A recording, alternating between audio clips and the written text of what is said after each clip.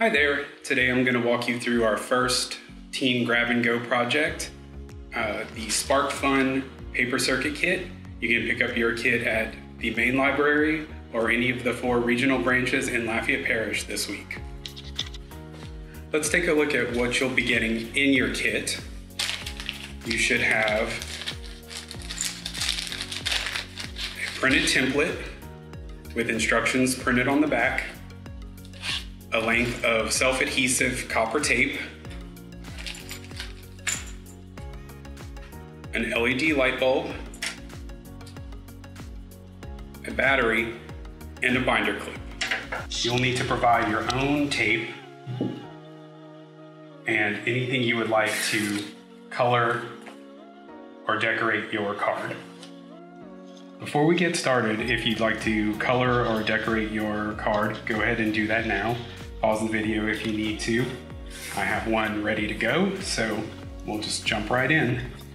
If you flip it over to the instruction side, we have a diagram showing you what needs to be done. Starting with the first step, we will place copper tape along the shaded area here. So take the backing, take the backing off of your copper tape and start laying it down onto the template. Follow along that shaded area. We want to try to make sure that we keep the tape in one piece as much as possible. So we're going to fold around the corners, fold it back on itself, increase it as best you can, and then fold it down to follow along the rest of the template. When you reach the end, you can cut it or just simply tear it off. Should look something like that.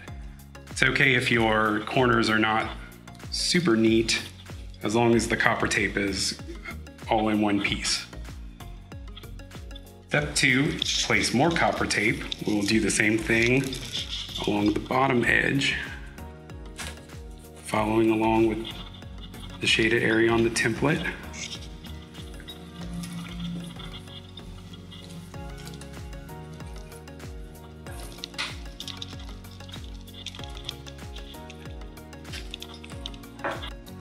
Again, it doesn't matter if your corners aren't super neat.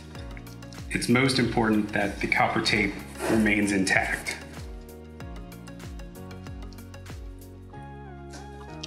And once again, when you reach the end, just snap it off or snip it.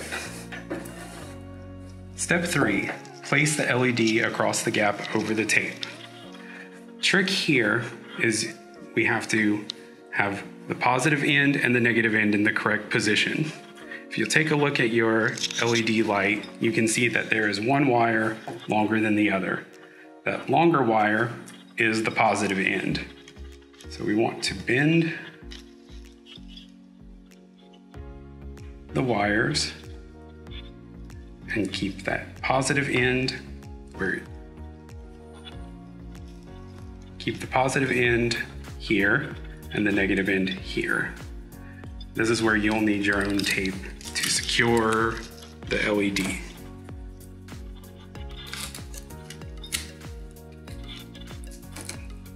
Again, doesn't need to look pretty on this side.